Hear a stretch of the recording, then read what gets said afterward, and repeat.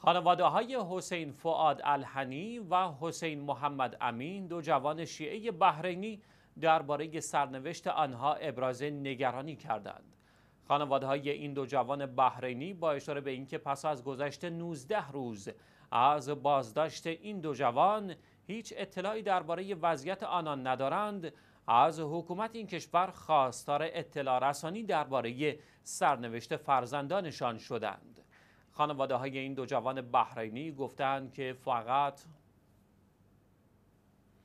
خانواده های این دو جوان بحرینی گفتند که فقط می‌دانند که آن دو توسط نیروهای بحرینی بازداشت شدند. حسین فعاد الهنی جوان 17 ساله بحرینی پیش از این نیز به دلایل سیاسی بازداشت شده بود. در اقدام دیگر دادگاه بحرین شش تن از شهروندان شیعه بحرینی را به حبس ابد محکوم کرد.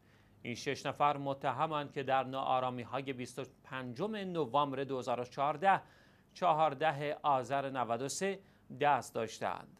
این در حالی است که احکام دادگاه های بحرین بارها توسط سازمان های حقوق بشری از جمله شیرایس واچ مورد انتقاد قرار گرفته است.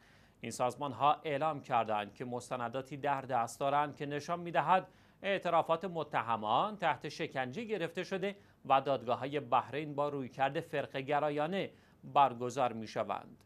حکومت بحرین در برابر گسترش اعتراضات مردمی مخالفان خود را با اتهاماتی واهی همچون تلاش برای ترور مقامات این کشور و تشکیل گروه های تروریستی به زندانهای طولانی مدت محکوم کرده است. این در حالی است که مجلس بحرین نیز در تاریخ 24 روم اردیبهشت 97 طرحی را تصویب کرد که بر اساس آن اعضای گروه های منحل شده در این کشور حق نامزدی در انتخابات را ندارند.